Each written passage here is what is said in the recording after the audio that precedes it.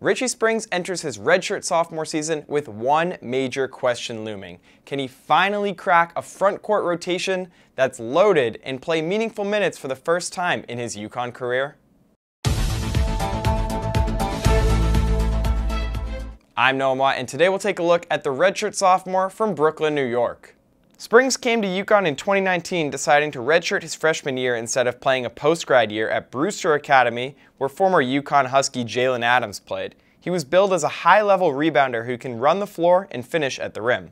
Unfortunately for Springs, the UConn frontcourt has been really deep during his time here, and he really hasn't gotten the chance to play very much yet.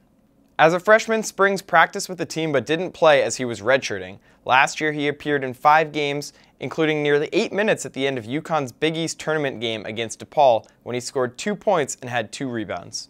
Springs is a 6'9 inch forward who really does have raw potential that's been talked about multiple times, specifically on the glass. We'll see if this will be his breakthrough year and if he'll get on Coach Hurley's side get some good minutes and some action in the front court. As for in the next episode, we'll be looking at a big guy who definitely has broken through and gotten into the rotation in a big way, and that's Adama Sanogo.